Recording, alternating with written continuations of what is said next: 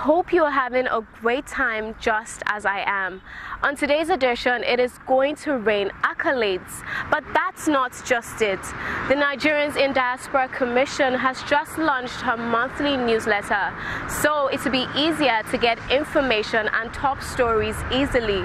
It is one thing to make a promise, but a greater commitment to keep to that promise. SMEDAN, in partnership with the Nigerians in Diaspora Commission, has kept to its promise by empowering returnees. I bet you do not want to miss these stories. I am Koinsola at Datumbi, and you are watching The Diaspora. Stay tuned.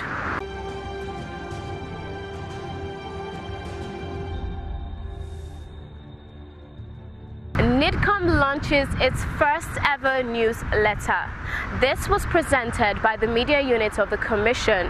The chairman CEO, Honorable Abike Dabiri Erewa, who was present, received the packaged bulletin and showed excitement and also encouraged the unit to do more.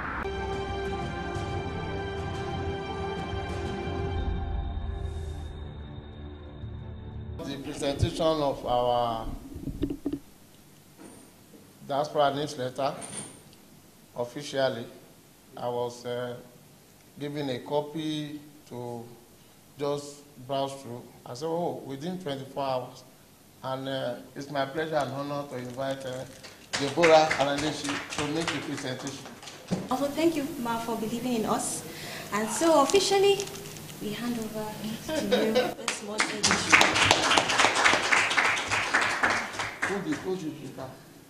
Sorry. Okay, golden girls, all of you. well, so as you can see here, we're all girls here. Girls, girls. Yes. And, I- and as uh, Balogun said, I didn't know they call you the golden girls of the diaspora commission. so really, I'm proud of all of you. Thank you so much. And uh, this may seem small, but it's big. That all of you new staff, all girls were able to put this together. This is going to be the beginning of bigger things coming from the media department. I want to thank your bosses, Gabriel Edu, Deputy Editor-in-Chief, Mr. Alaji Malam, Chief Abdurrahman Balogun, the Editor-in-Chief, our brothers, Bidemi, who is ever there for us, who are the photo editors, the photographers, and the TV people, cameraman, photographer, and our supporters. So thank you very much. Proud of my golden girls. So, like we said, this has to be regular. You online and then we do hard copies. We support you get hard copies done. And this, your diaspora newsletter, will go all over the world. And at the time that we want to be talking about image of Nigeria and celebrating the best. So I'm proud of you, Golden Girls. Keep it up. And uh, well done. And thank you to your bosses for all the support. We're working on an online radio station to at least start by communicating with Nigerians in the diaspora online. Then we'll move subsequently, you know, to other things. So be ready for that. Uh, okay. round of applause for our chairman. It is only in media department that you can get this stuff. It's the great stuff. So media department can always deliver. A round of applause. So we want to thank all of you for the energy. You know, when she, we discussed with her, I told her that these girls are very talented. Eh?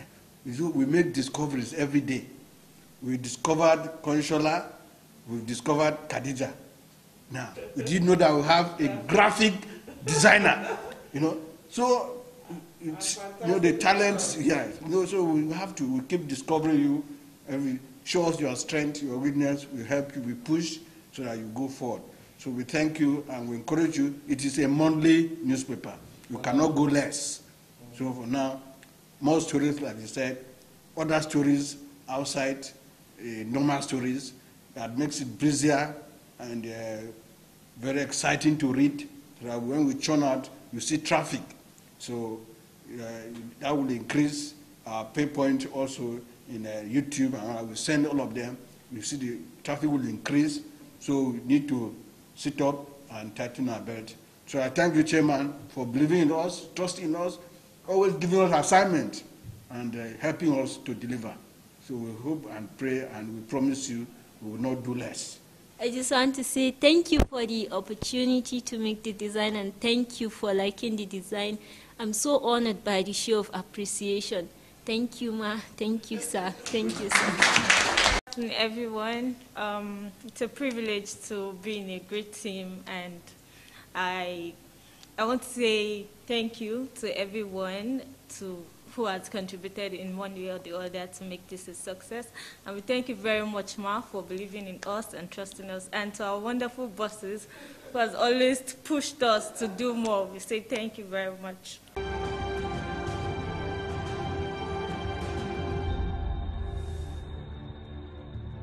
The Small and Medium Enterprise Development Agency of Nigeria, SMEDAN, partners with the Nigerians in Diaspora Commission to empower returnees of the South Africa xenophobic attack victims in 2019, as well as other returnees from Libya, Lebanon, and others. The initiative has commenced a four-day program to empower some of the returnees and others with hardware equipment to kick off autism citizenship. Currently, about 11 states of the Federation keyed in and flagged off the program. The NIDCOM chairman, in her keynote speech delivered by Mr. Akombi Abiodu of the Programs Department in the Commission, advised the participants not to despise the period of little beginnings, stating that the modern day equipment SMEDAN will hand out to them at the end of the training must be treated as a poverty defying tool. I'm sure some of you will be wondering what is Nigerians in Diaspora Commission doing here? The idea, the initiative uh, was born out of uh, Honorable Abike Dabiri's uh, initiative during the unfortunate incident of uh, xenophobia last year in South Africa, whereby some of our citizens were repatriated. We felt uh, it would be unfair to just leave them to find their level. So therefore, he came up with an idea that uh, there should be a partnership with an organization like SMEDAN to empower the returnees. Um, I'm happy to tell you that some of the South African returnees, uh, Lebanon, Libya are among you to be a partaker of this uh, program. So that's why Nigeria's Diaspora Commission is involved.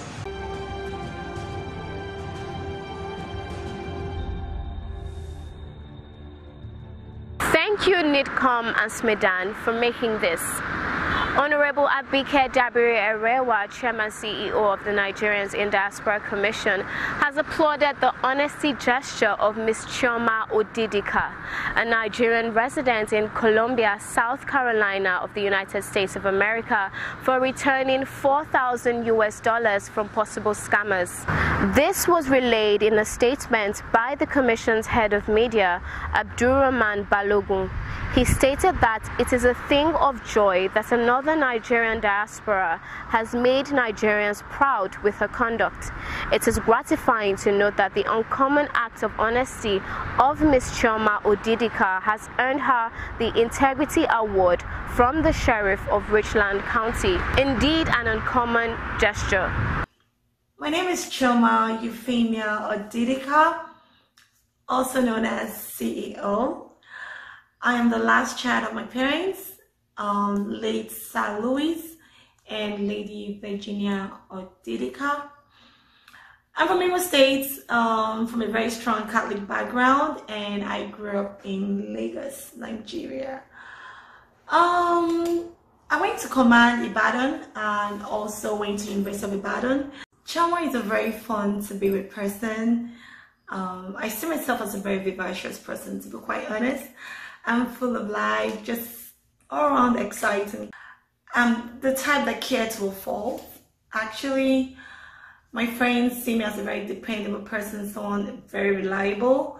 And um, yeah, I consider myself that as well. Um, I'm a cook, I'm a chef, I do makeup, I do fashion, I do a lot of stuff. So um, that's who I am. Just fun, bubbly, and just full of life.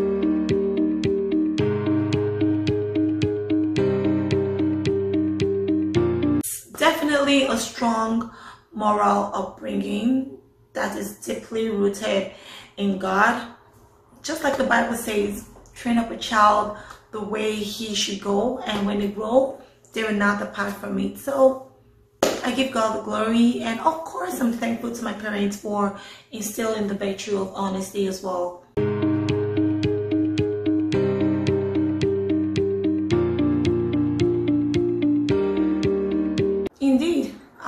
Agree that money is tempting, but my convictions were stronger. I come from a Christian family where our parents taught us to not take what doesn't belong to us. So it's not mine, so I have to return it.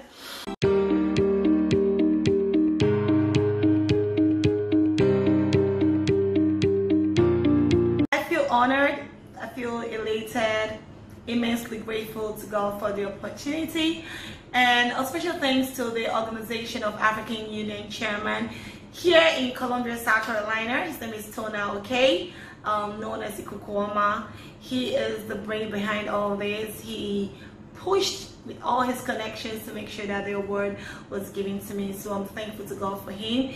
And also a special thanks to the Sheriff's Department for this great honor for the kind gesture. I'm so happy. And most especially to my family as well. And um, a very close friend, Marisa.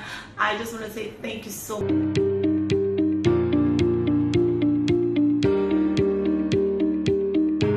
We believe that. Mm, my advice is keep doing the right thing even when no one is watching. Remain focused and God will definitely reward all your efforts. Thank you very much. Kudos, sis, and thanks for making us proud. It is raining accolades as another Nigerian, Ms. Kikelomo Lawal, has just been appointed as the Executive Vice President and the Chief Legal Officer of the Canadian Imperial Bank of Commerce, CIBC, to kickstart on the 12th of October 2020. Ms. Lawal has more than 20 total years of experience as a leader, a trial lawyer, and also a transactional lawyer. She currently holds the title of Chief Legal Officer, Ombudsman, and Corporate Secretary at the Interac Corporation, where she has worked for 12 years and led numerous work streams to establish the organization as a fully integrated share capital corporation. She is licensed to practice law in Toronto and in New York, the United States of America. Ms. Lawal has served as a senior associate at Blake, Cassels and Graydon LLP and as an associate at the Carter Ledyard and Milburn LLP. Proudly Nigerian, please keep the Nigerian flag flying. And that's not all on the accolades checklist. Mrs. Pearlena Igbokwe, a Nigerian-born music executive, has just been appointed as the chairman of the Universal Studio Group in the US. The Universal Studio Group is a division of the NBC Universal, one of the world's leading media and entertainment companies in the development, production, and marketing of entertainment, news, and information for global audience. Mrs. Igbokwe, who was born in Nigeria, has broken ground by becoming the first woman of African descent to head a major American television studio. Great achievements there. Congratulations. Let's also celebrate Dr. John Emeka Akude, who is the first black man to be elected in the Cologne City Council, which is the fourth largest city in Germany. A round of applause for this great feat.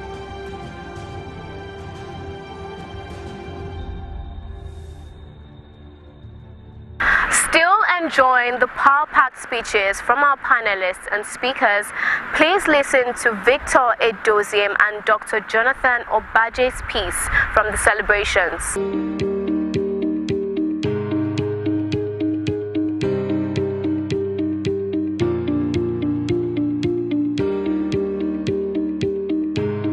Obaje talked about in Singapore. How has Singapore created from that tiny island nation to become Mm. Brought in so much foreign direct investment in there when Singaporeans are very few, you know, compared to the Mm. population there. So, given those two countries that I've visited and and and I see as model, what are solutions? I think the first one is is just this whole alignment around there got to be the alignment from the stakeholders in Nigeria saying, okay, we have we need we have a need for stakeholder development.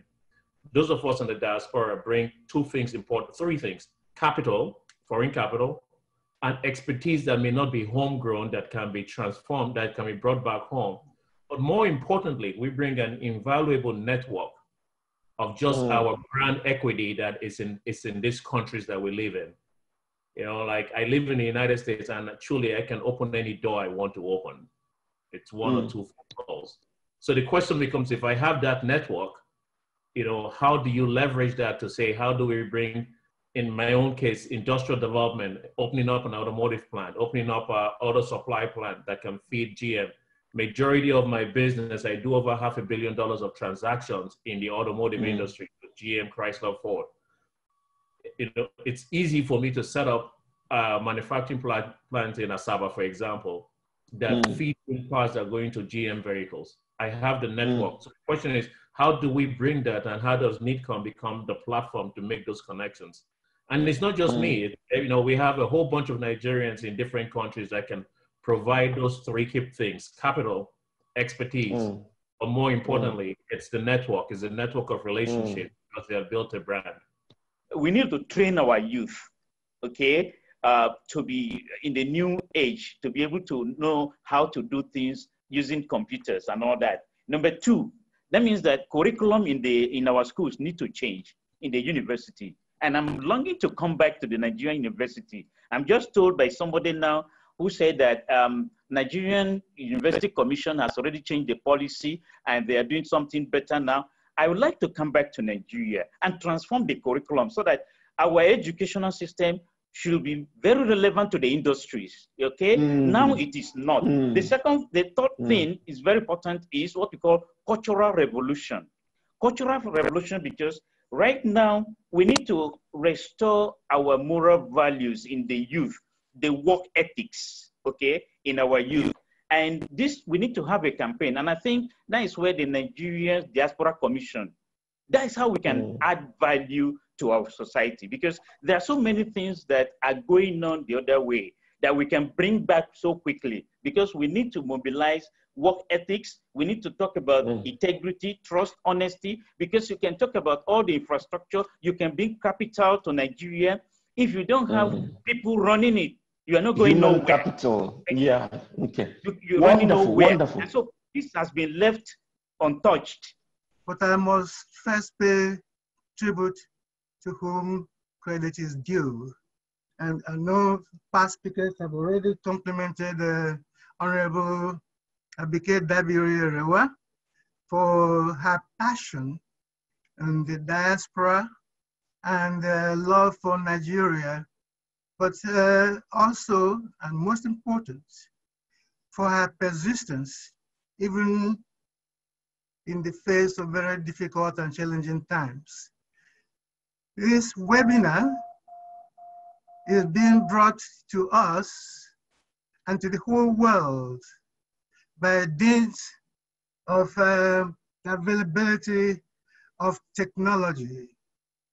And uh, that said, we would not have been able to have this if it had not been because of uh, this technology, which we have said over the time for over three decades to be very crucial, it's been proven to be very central for lifting every economy for, from its current state, usually developing or depressed to an aspiring and uh, elevated state, hopefully developed. So the question then is, what can we do to make this a critical factor in national development a, a common word and readily available to the everyday Nigerian as, as a vehicle for bringing about this transformation process.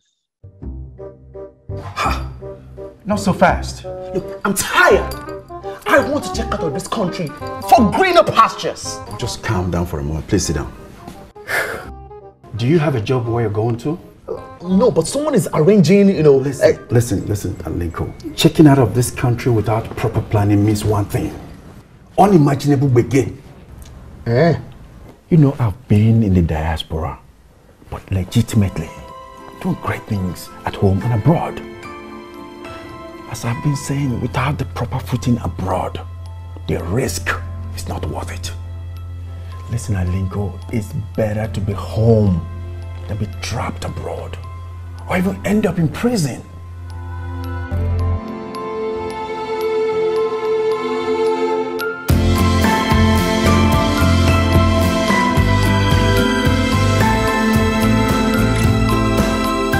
Dr. Samson Arigbamu is a Nigerian American of about 22 years and currently the Director of Nursing at Future Care Lochearn, a 200 bed capacity health rehabilitation center in Baltimore, Maryland for about 10 years. Prior to that, he was the Director of Nursing at Manor Care Woodbridge, Baltimore, Maryland for over three years.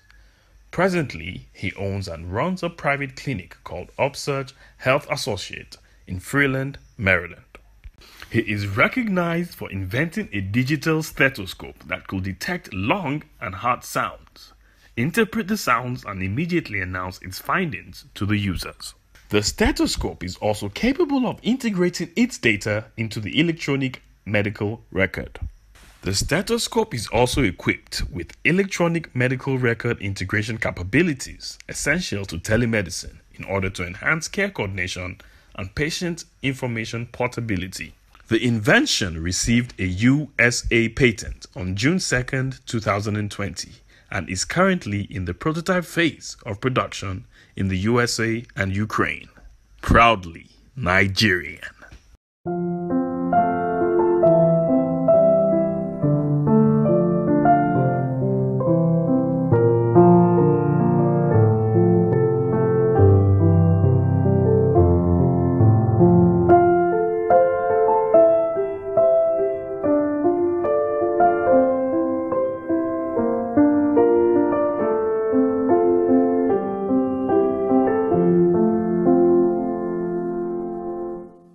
Thank you for staying all through the program. We hope it's been worth your while. And in case you have anything to share with us, please do not hesitate to do so as we expect feedback on our show.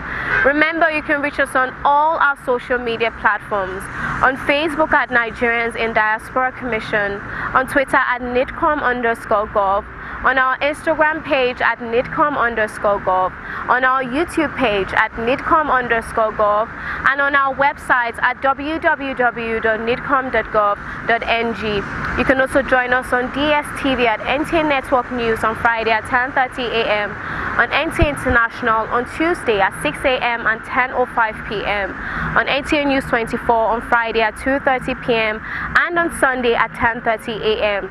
You can also join us on WAP TV on Thursdays at 9 a.m. and on WTV on Wednesdays and Sundays at 8 p.m. I remain your host, Coinsola Adetumbi. See you next time.